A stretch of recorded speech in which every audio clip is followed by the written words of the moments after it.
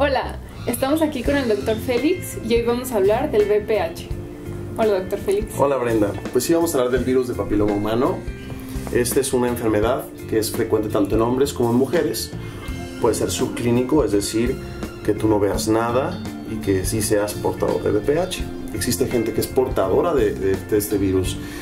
El virus de papiloma humano tiene más de 100 subtipos. Esto significa que algunos no son cancerosos y otros sí. Algunos producen verrugas y otros no. Tenemos los tipos 6 y 11, que son los llamados verrucosos, y tenemos el 16 y 18, que son causantes del cáncer cervicouterino.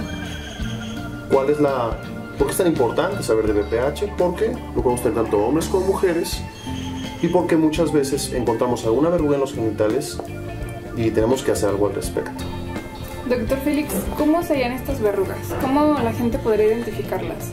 Pues son tal cual verrugas vulgares, se ven como coliflorcitos, unas pequeñas coles en, los genitales.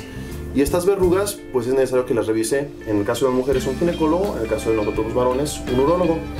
Revisamos estas verrugas y vemos con, con ampliación, una lupa especial, vemos si son sospechosas de VPH y si son sospechosas hay que tratarlas. Hay diferentes tipos de tratamiento, existen quemaduras químicas, que es una cremita que se les deja para que el tiempo se le vaya cayendo las verrugas. Y hay otros tipos de quemaduras que son eléctricas, electrofulguración. Ponemos un anestésico, el cual no duele mucho. La quemadura como tal no duele para nada, queda una costrita nada más y al tiempo se cae y no deja manchas. Están otras que son la crioterapia, que es congelar las lesiones. Existe la quemadura con láser, nada más que el láser es un poquito más profundo y mata el melanocito, entonces puede dejar algunas manchas blanquitas en los que somos muy morenos. Pero es importante tratar el VPH a tiempo.